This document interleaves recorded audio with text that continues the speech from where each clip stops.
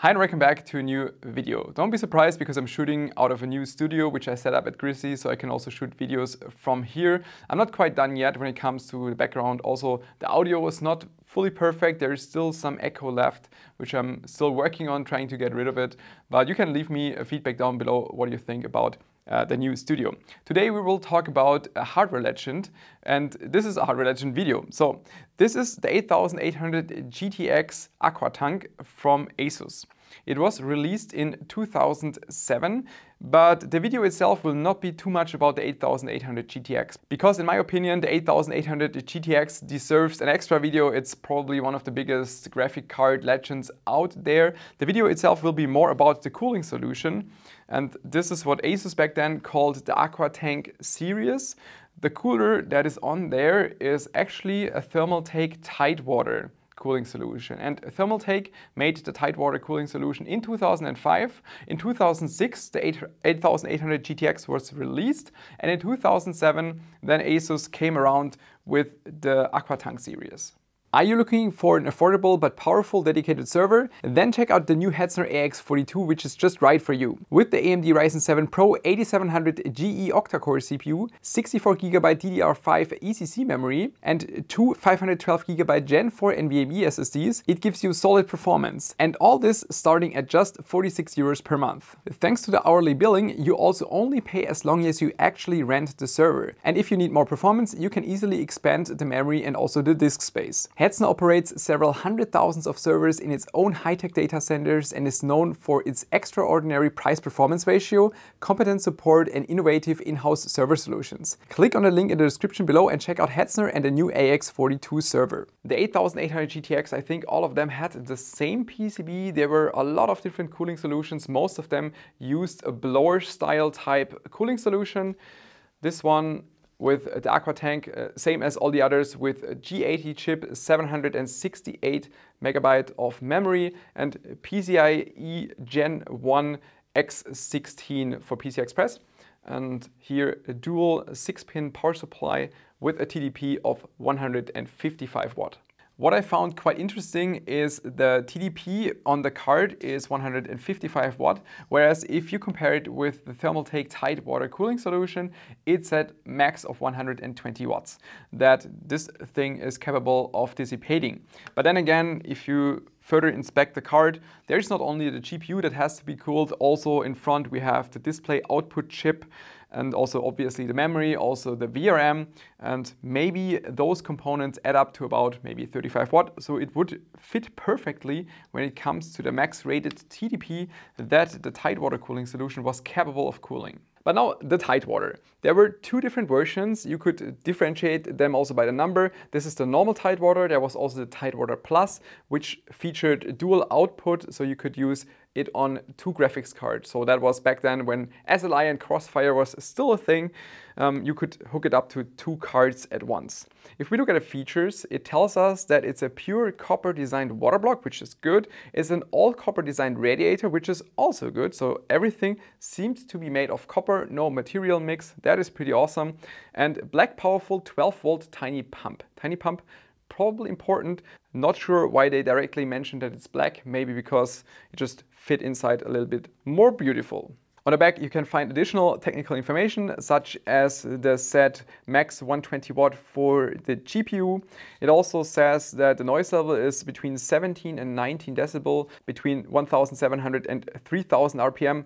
Not quite sure how they measured it, if there's like such a small noise level difference between this high RPM difference. Maybe they measured it from like 50 meters away. Not quite sure about that. Also interesting, the pump speed is listed with 72 liters per hour at 3,400 RPM.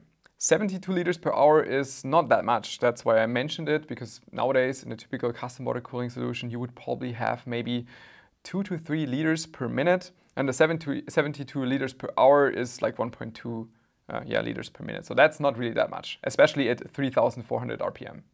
Okay. And there you can also see this thing is sealed, brand new, even though it's almost 20 years old.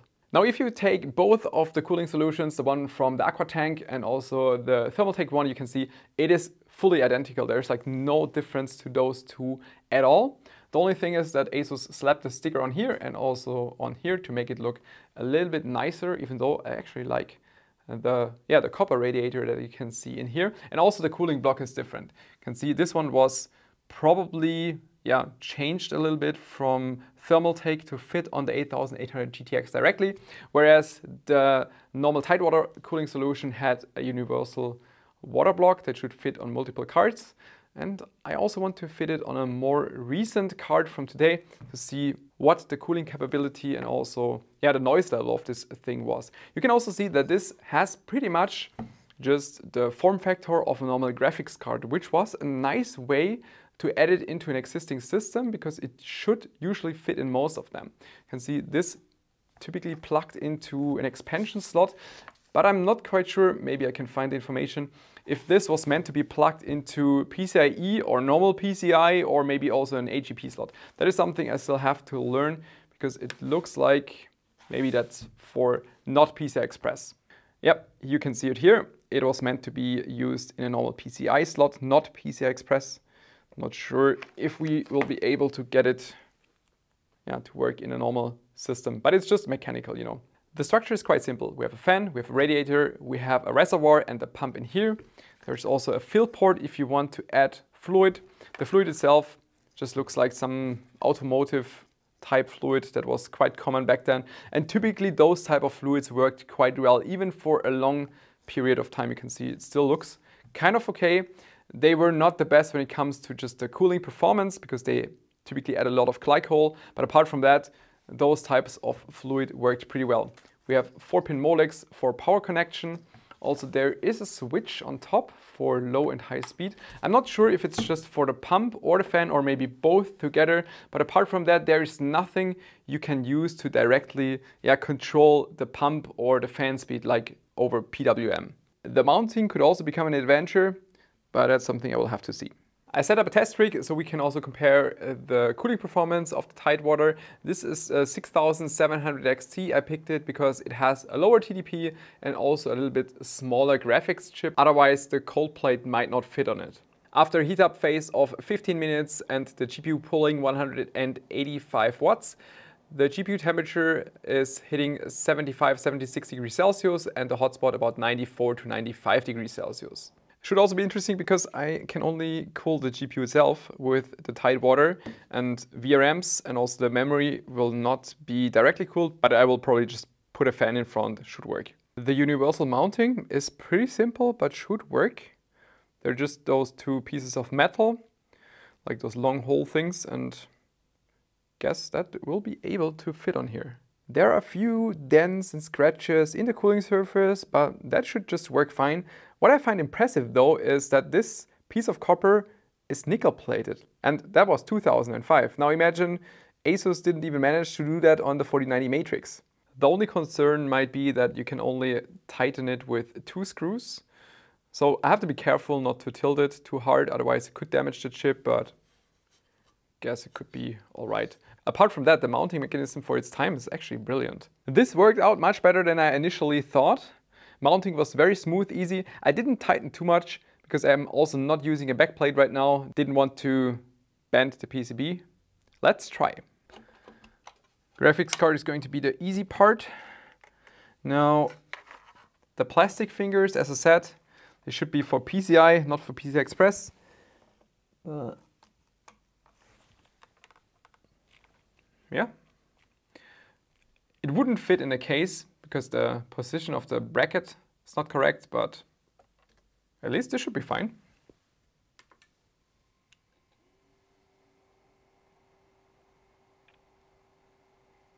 Fan is spinning, I can also hear pump noise.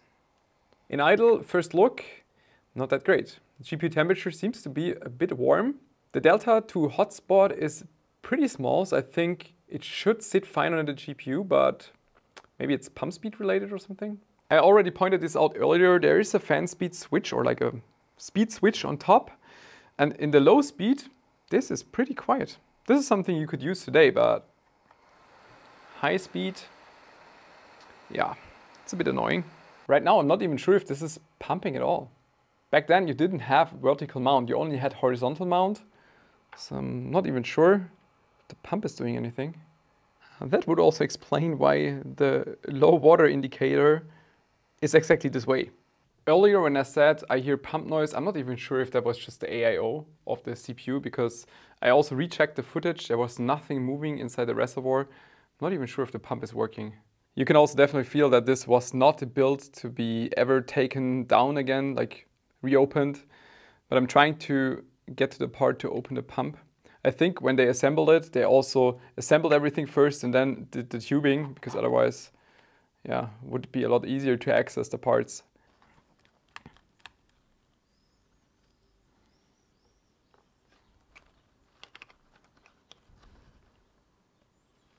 Hmm.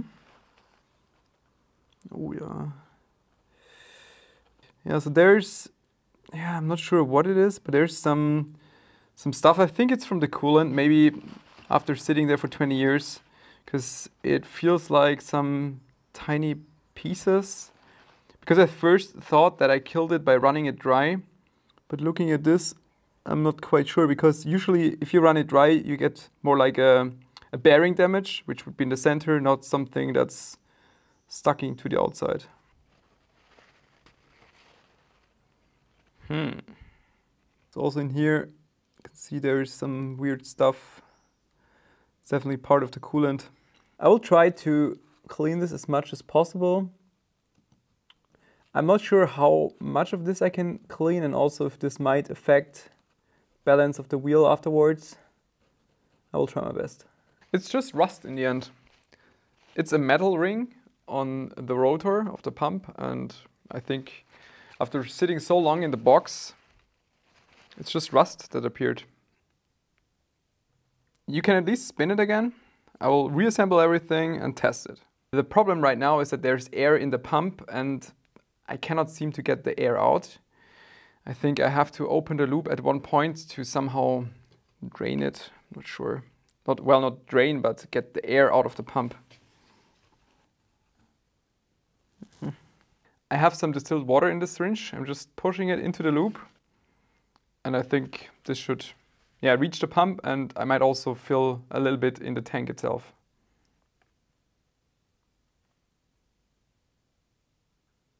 Test run. Only the pump is connected, no fan. We will try and see what happens.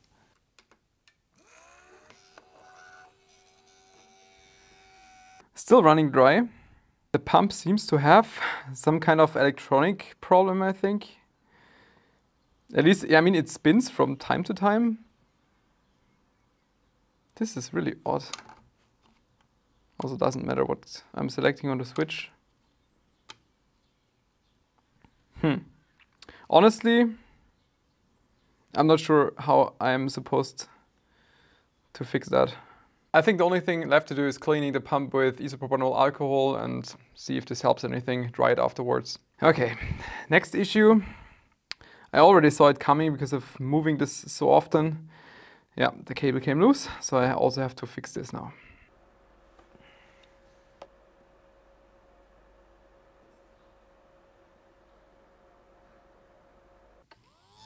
Okay, okay, okay, okay, okay. Okay, great. So pump is spinning again. Kind of fix that part. Now I don't want to run it dry for too long, otherwise it might kill the bearing. We'll reassemble everything. Uh-huh, maybe like that.